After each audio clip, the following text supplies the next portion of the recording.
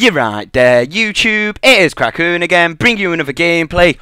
Commentary man, we're here again, bring you some more Modern Warfare 3 like I do. Going to be playing a 6v6 domination on the map Liberation using the Type 95 with a kick proficiency. Got rapid fire attachment on there. Running Sleight of Pro Hardline Pro Marksman. Kill streaks wise, I'm running the Reaper, the Pave Low, the Osprey Gunner. I mean the Reaper, the AC-130, the Osprey Gunner, not the Pave Low.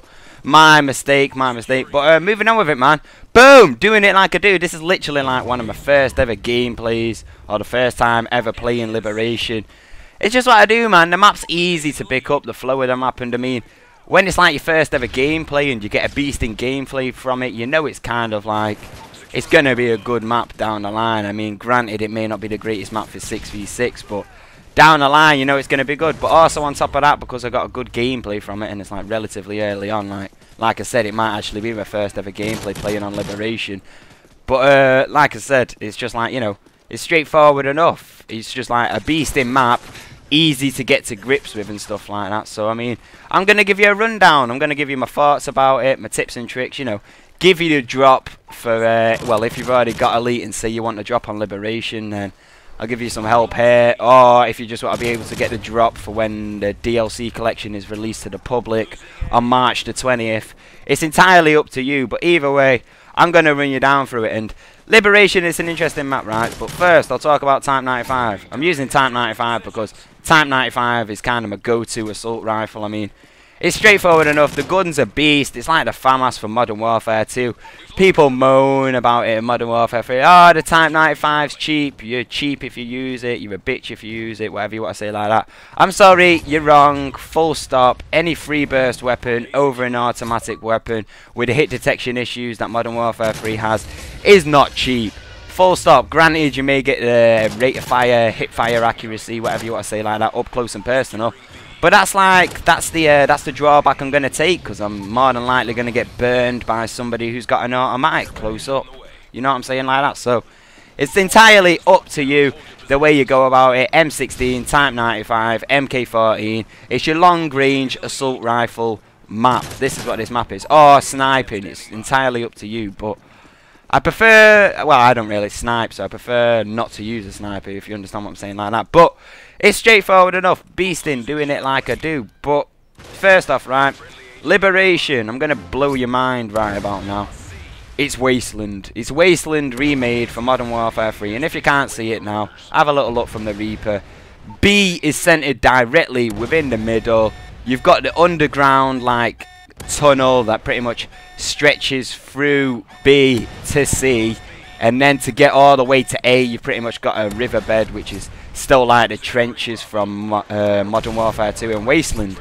It's it's Wasteland remade and there's no denying that. And thinking back to Modern Warfare 2 I liked Wasteland. That was my opinion. I mean the only thing that this map has got differently is it's got a lot more foliage and uh, foliage or like whatever trees, bushes. It's got a lot more of that like in the middle and open as obstructions or whatever you want to say like that.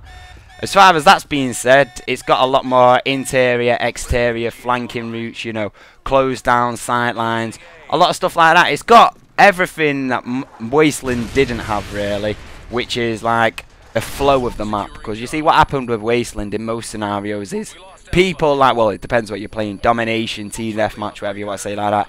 If it's a domination, people lock down two flags.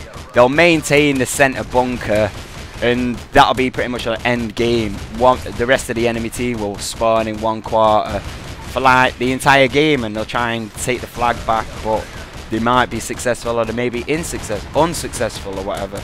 So I mean, you've got to take it for what it is, really, when it comes down to it like that. So as far as that's been said, right, that's that's all over and done with and everything like that.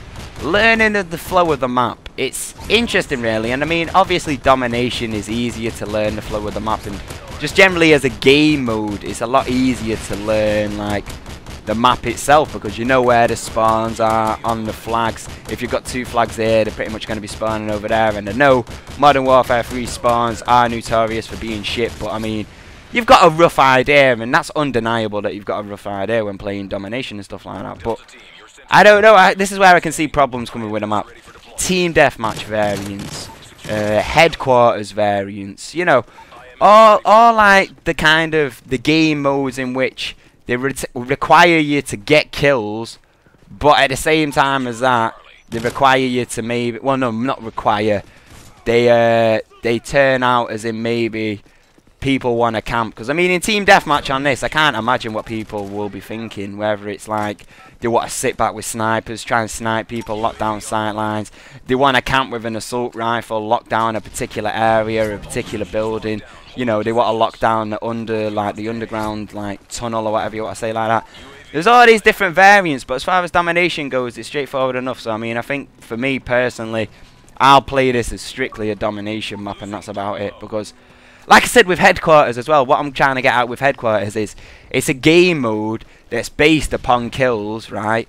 You've got to kill, like, the enemies before they can capture the base, or if they capture the base, then they don't get any more respawns until you've taken over the base, but you still, still like the whole the whole setup of the game mode is based upon kills. That's undeniable. I mean, th this could go for like any game mode within Call of Duty. I mean, obviously it's based upon kills, but I mean, there are them game modes that are based upon it more than others. I mean, for instance, Team Defender, right, is a completely and utterly uh, kill-based game, but I mean, they had the flag in it to, you know, give the variation, you know, kind of give an objective to the game, and it's the same goes for Headquarters and Team Deathmatch, except, well, Team Deathmatch is purely kill-based, headquarters is kill based with like you know uh, an objective that you've got to capture and hold and stuff like that. So these are the maps where I'm seeing problems because with a map like this, right, and adding them game modes and stuff like that, because it's so the map's so vast and it's so like you know so like long to get to different points of the map and traversing from different parts of the map is well I'm not gonna lie it's a long process at times so I mean You've got to take it for what it is, really. But I don't know. I don't really want to go on about game modes and start bitching and stuff like that. I want to give you some tips and tricks, right? And as you can see here, you've been watching the gameplay in the background. You're seeing how I've like been playing out with the map, you know, hitting them high kill streaks and everything like that. This is kind of what I want to do. You've kind of seen that I've sticked over towards this side of the map where it's more open. You know, you've got like the whole interior buildings, but I mean, like with this whole like I don't know what you'd call it, like uh, what would we call it? Like, you know, the whole concrete cordoned off circular area. It's an extremely good place to lock down. And as far as anything else goes, this is probably how you want to lock down the map. You don't want to stay over towards the other side. Here, this is like the ultimate fail ever. Wait for it. There goes my sentry gun. I didn't get a single kill with that. I don't know why I set it up over there. It did nothing, and then I moved it. oh, I'm just so unlucky with shit like that. But anyway, right. Like, oh, what was I saying now? God. Uh, I've, completely lost my train of thought. Whatever, man. Whatever. Shit, I think I get killed by a stealth. I think I luckily survived a stealth bomber, in fact. Whatever, man. Moving on with it. Uh, what was I saying? God damn it. I hate it when I lose my train of thought because of fails and shit like that. But I don't know. Whatever, whatever. Moving on with it, right? Tips and tricks. I've told you, you want to lock down the side, that other side of the map where it's, you know, it's got the higher ground. Compared to, like, the other side of the map where you've got like the whole underground arches, like the tunnels, and like you know, it's kind of like the whole flow around the map with the awnings and the leaves, and you know, all like the colours and stuff like that. You don't want to stick over near there because, like, in all maps, yeah, you always get like a part of the dead.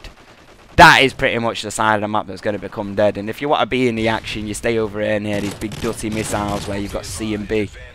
I, I would I'd recommend to lock down A because like I said, A's further away than like most of the other flags and it's not as well connected as the other flags. Because I mean C is extremely open. C is an extremely open flag. It's probably the most open flag on this map.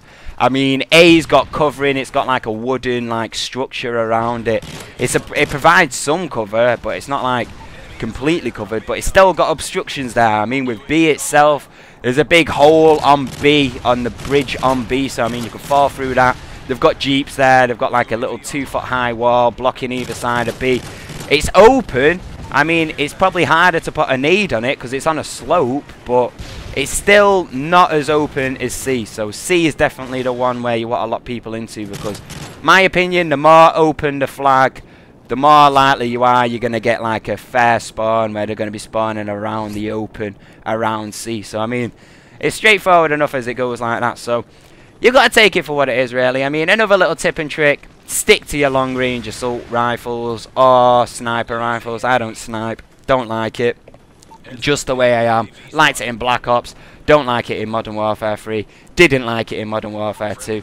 Never gonna like it in any Modern Warfare game if they keep it the way it is. Full stop.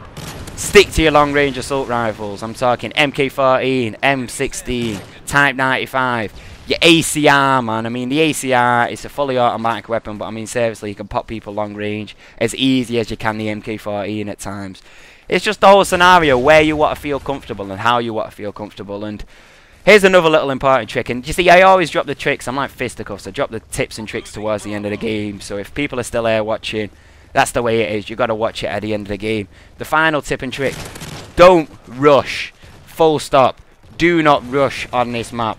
Rushing on this map is a death trap. I, I, I don't know. I'm, I'm going to bring you a rushing gameplay of it and I'll show you exactly what I mean. Take your time. Play defensive.